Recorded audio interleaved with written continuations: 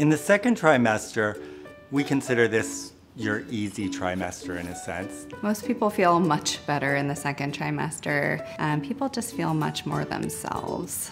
It's sort of the magical time. You, you know that you're pregnant, you've kind of accepted it, both emotionally and your body's kind of accepting it. It was almost like to the day starting the second trimester that I finally got my energy back. Agreed. I felt like me again, which was really nice. Fatigue often resolves the early part of the second trimester after the placenta is fully formed. Energy levels tend to increase back up.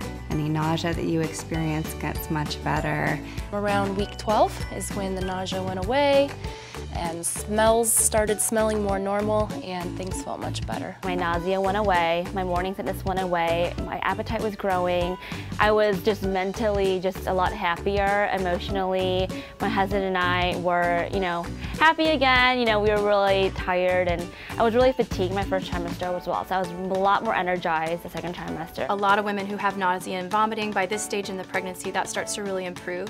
You might notice that you're more hungry um, and you might start gaining a little more weight than you did in the first trimester.